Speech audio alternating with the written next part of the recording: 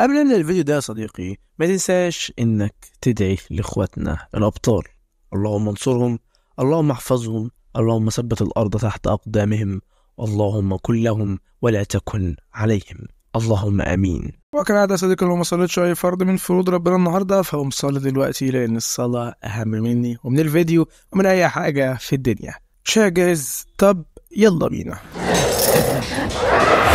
بيبدأ في منها صديقي بإحصائيات خطيرة جدا منتشرة بتتكلم عن وباء أو مرض اسمه السعار. الوباء ده كان منتشر بين الكلاب ولكنه بطريقة ما يعني بدأ يصيب البشر يحول البشر لمخلوقات مسعورة أشبه بالزومبي. نعرف إن السعار ده انتشر في العالم كله تقريبا وبنشوف الإحصائيات بتاعة المرضى منتشرة في كل مكان والكل ماشي بيتكلم عنها. الناس كلها بقت في حالة ذعر بسبب التزايد الكبير لعدد الحالات واللي وصلت لسبعة مليار مصاب تقريبا العالم كله. ولسه برضه في تزايد كمان يوم عن يوم. نعرف إن كل الجهات الطبية الموجودة أو اللي لسه عايشة بتدور على المريض رقم zero اللي هو أول واحد اتصاب بالمرض عشان ياخدوا منه عينة يعني أو يعملوا من دمه علاج يشفوا بيه كل الحالات المصابة حاليا. في الوقت الحالي بقى صديقي وفي مكان ما تحت الأرض بنشوف شخص اسمه دكتور كارلوس بيصحي مورجان صديقه عشان يشوفوا اللي وراهم. مورجان بيتفزع جدا وهو صاحي لأنه كان بيحلم بكابوس. ساعتها بقى كارلوس بيقول لمورجان يلا بقى عشان ورانا شغل كتير وفي مسؤولية كبيرة ورانا. وبنعرف إن دكتور كارلوس من الأطباء أو من الفريق الطبي يعني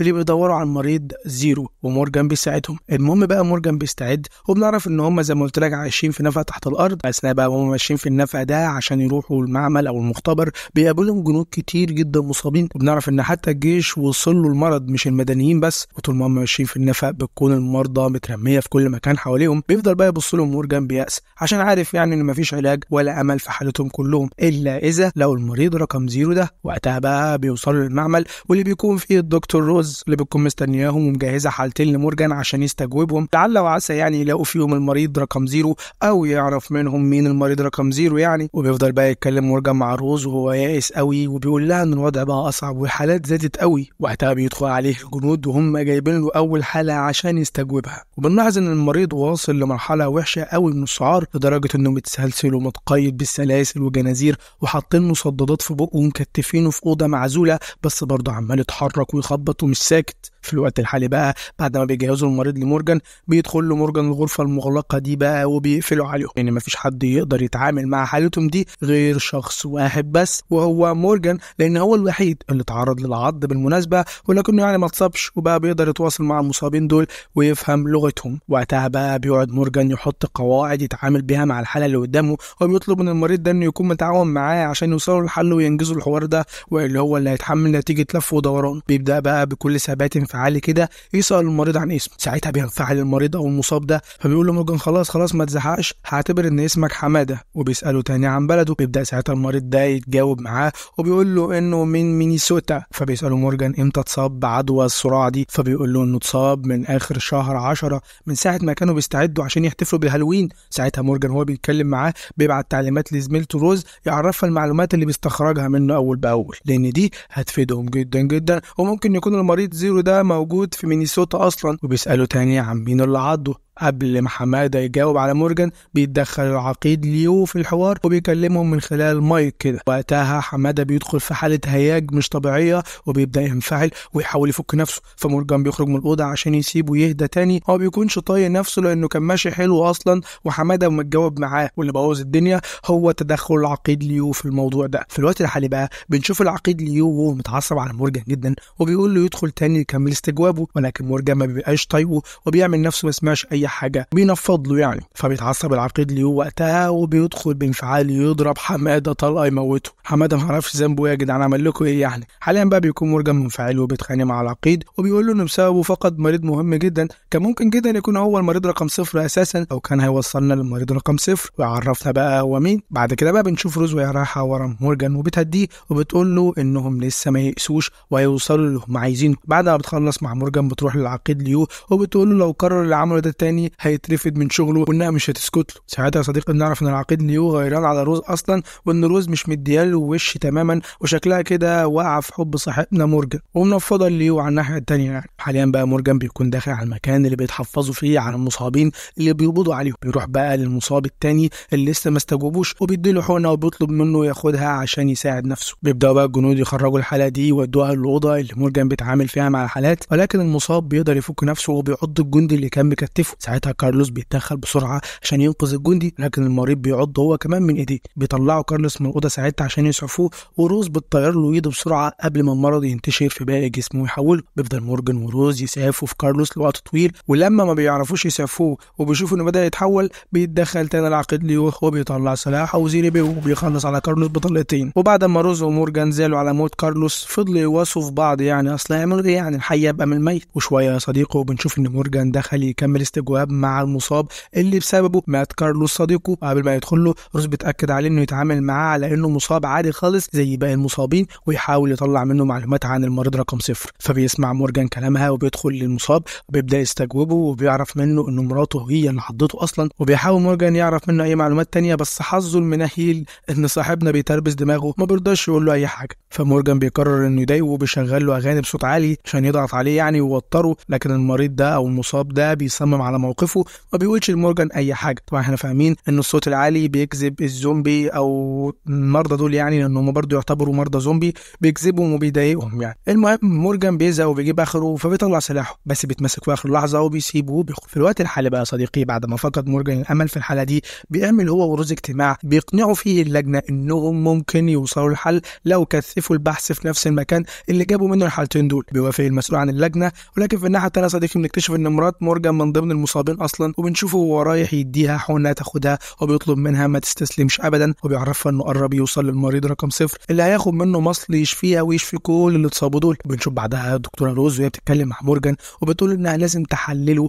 عشان تعرف إيه المادة اللي بتقاوم الفيروس دي في دمه بما إنه يعني اتعض من المرضى وما زيهم يعني. وده الصراحة السؤال اللي كان في بالي طول الفيلم. طالما ده اتعض وما اتصابش. ليه ما نشوفش إيه اللي جواه؟ يمكن جواه يكون العلاج أصلا بتكمل بقى كلامها بتقول له حاجة كمان وهي انهم لما خدوا عينة دم منه حقنوها في الفيران مفيش دقايق إلا وكانوا الفيران دول عليهم أعراض الإصابة بمرض السعار ده. تقعد بقى روز تتكلم معاه شوية وبتقول انهم لو ما لقوش المريض zero كده مرات مورجان كمان هتموت. فبيتضايق مورجان وبيتعصب وبيقوم هو بيصبر نفسه وبيتحدى روز وبيقول لها انهم هيوصلوا الحل في أقرب وقت. حاليا بقى يا صديقي بيدخل مورجان يريح شوية وأول لما بيروح في النوم بيحلم باليوم اللي هجم فيه المصابين. عليه هو ومراته وده الكابوس اللي بيحلم بيه على طول. ساعتها المصابين دخلوا عليه هو ومراته في العربية وعضوهم هما الاثنين وساعتها مراته اتصابت وطبعا هو ما اتصابش. بيصحى مورجان مفزوع تاني ولكن بيكون صحيانه ده في وقته. لأن في ثلاجه الموتى بنشوف إن العقيد ليو بيلف على الجثث المريضة اللي ماتوا من جنوده وبيحضر تكفينهم. وبيتفاجئوا ساعتها إن كان في منهم واحد لسه عايش وبيفوق بسرعة. بيبدأ يعض في الجندي اللي كان بيكفنه. فأول لما بيتعض بيبدأ يتحول. فالعقيد ليو بيقتله بسرعة. وقبل ما يقتل المريض نفسه بيدخل مورجان بسرعة وما بيخليش ليو يقتله. وبيقول له ان عاوز يستجوبه وبيخلي الجنود يكتفوه ويحطوه في الأوضة المغلقة دي. بعد ما بيدخل الأوضة بيشغل مورجان الأغاني بصوت عالي. طبعا المرضى المصابين دول بيتعصبوا لكن المصاب ده كان غريب قوي. طلع سيجارة من جيبه وبدأ يشرب فيها وما تأثرش بأي حاجة من أساليب الضغط اللي مورجان بيتبعها معاهم. فبيحاول مورجان يستجوب بهدوء وبعد وقت طويل بيقرر المريض إنه يبحبحها شوية يعني ويحكي. أول لما بدأ يتكلم بيرجع فلاش باك يا صديقي. وبنشوف المريض ده وهو أستاذ جامعي وبيدرس للطلاب بتوعه. وساعتها بيجي له مكالمة من مراته بيخرج من المحاضره يرد عليها بيعرف منها إن المرض انتشر جدا والشوارع مليانة فوضى وإن الإحصائيات في التلفزيون بتقول إن الأعداد زادت قوي. ساعتها بيقطع مكالمته مع مراته وصوت صراخ الطلبة بتوعه بيحاول المدرس إنه يجري عشان يهرب ولكن بيظهر طالب من عنده مريض هو بيفضل يجري وراه لحد لما بيمسكه وبيعضه. ده بقى بيروح الأستاذ ده للبيت وأول لما مراته بتفتح له بيخلص عليها وبيخلص على بنته. نرجع بقى من فلاش باك ده وبنشوف إن مورجان أصلا اتعصب جدا ومنفعل عليه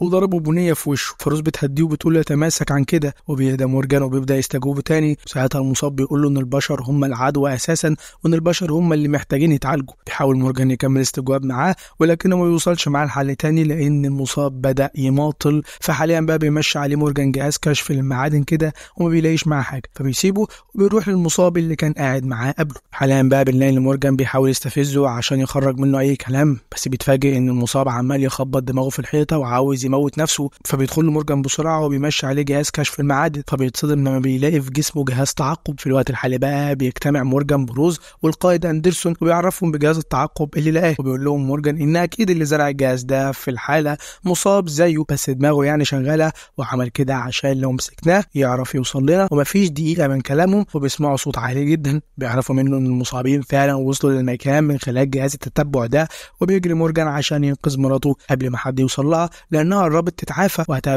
إن المرضى انتشروا في المكان وقتلوا عدد كبير جدا من الجنود. بعدها روز وليو بيحاولوا يهربوا وبنشوف إن ليو قتل القائد بتاعهم فروز بتزعق له وبيقول لها إنه المفروض يعني تشكره إنه أنقذها وروز بتاخد منه السلاح وبتقتله عشان مشاكله كترت الراجل ده الصراحة. على الناحية التانية بقى يا صديقي بنشوف إن مورجان وصل لمراته وبيحاول إنه يقنعها تمشي معاه. تفضل تقول له يسيبها ويمشي أحسن لا تأذيه غصب عنها ولا حاجة. لكنه بيقول لها إنه بيحبها وبيثق فيها وعارف إنها مش هتأذيه. فعلا يا صديقي تمشي معاه من غير ما تأذيه. وساعتها روز بتقابلهم وبترفع سلاحها عشان تقتل مرات مورجان لأنها عارفة يعني إنها مصابة وممكن تاذيهم في ثانية. لكن مورجان بيفهمها إن حالة مراته اتحسنت ومش خطر زي الباقيين لأن العلاج اللي بتاخده جايب معاها نتيجة. فبتنزل روز سلاحها وبيروحوا سوا عشان روز تجيب أبحاثها. وهما ماشيين رايحين المعمل بيهجم عليهم مريض تاني ومورجان بيقتلوه فورا. لكن بيتصدموا بقى لما بيلاقوا المكان مليان مصابين وفي مصابين محاصرين المكتب حواليهم. وساعتها بتقترح عليهم روز إنهم يهربوا من فتحة التهوية بتاعة السقف. وهم ماشيين في فتحة التهوية فعلا في حديدة بتقع على المصابين فبيعرفوا إن في حد في فتحات التهوية والمصابين لما بتتجمع بتتجمع باعداد كبيره فوهما مكملين فتحة التهوية بيشوفوا فار مقابلهم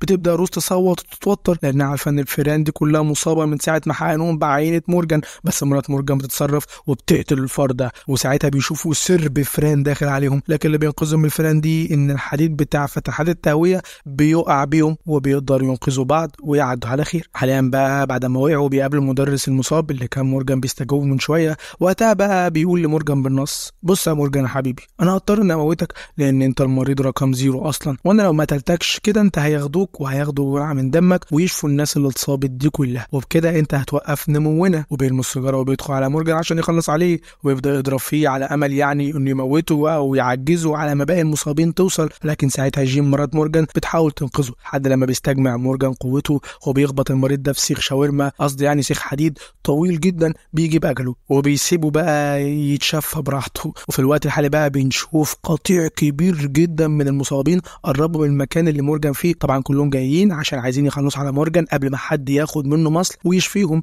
فبتقف جيم مراته عشان تقنعه إنه يهرب هو وروز وبتعرفه إن هي هتعطلهم وبتهربهم وبتدخل هي لأنها أصلا مصابة زيهم. وبتخرجهم من مخرج كده وقبل ما تقفل الباب بتقول لمورجان إن روز حامل منه. مش قلت لك إنها بتحب صاحبنا. المهم إن مورجان بيصطدم ساعتها وبيبص لروز يسألها هي حامل فعلا بتداري وشها وبتسكت وما بتتكلمش. مكسوفة يعني. بس ساعتها بتكون جيم مرات مورجان وصته على نفسه ووصته يهرب بسرعة وقفلت الباب عشان يهرب. بيفضل مورجان يصرخ وينادي عليها عشان تفتح له. وبيفضل يقول لها أنا بحبك. بس ده ما بيكونش وقته يعني يا صديقي يعني. الدنيا ب... العالم بينتهي. المهم إن بعدها بيسترجع دماغه على طول وبيعرف إن الحي أبقى من الميت طبعا. وبياخد روز وبيخرج بيها وبيكون مصاب في كتفه اصابه بسيطة كده. فبتساعد روز على ما يخرجوا من القاعدة. وفي الوقت ده بتكون جيوش المصابين دخلوا المكان. فروز بتقول لمورجان إن كده خلاص اللعبة شكلها بتقفل وقربوا يمسكوهم. ولكن مورجان بيقول لها بتحدي كده يعني إنهم هيعرفوا يكملوا وإنهم قدوا كل الظروف دي. وبياخدها على موتوسيكل وبيمشوا. وبعدها بنشوف إن كل البشر ماشيين مصابين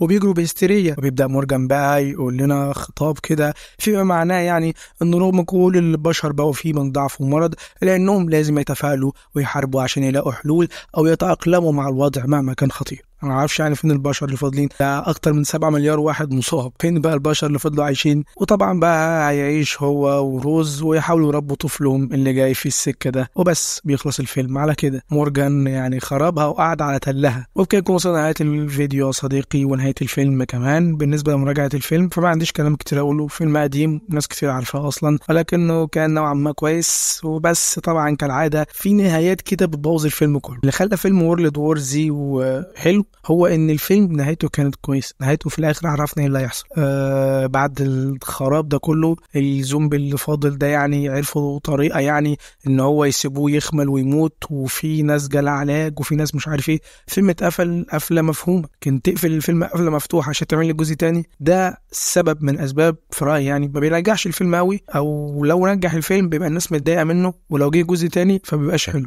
فتقييم الفيلم ده هو 6 من 10 عشان تعملوا؟ اشتراك في القناه وعلى الجرس عشان اوصل لكل جديد اشوفكم في الفيديو الجاي يلا سلام.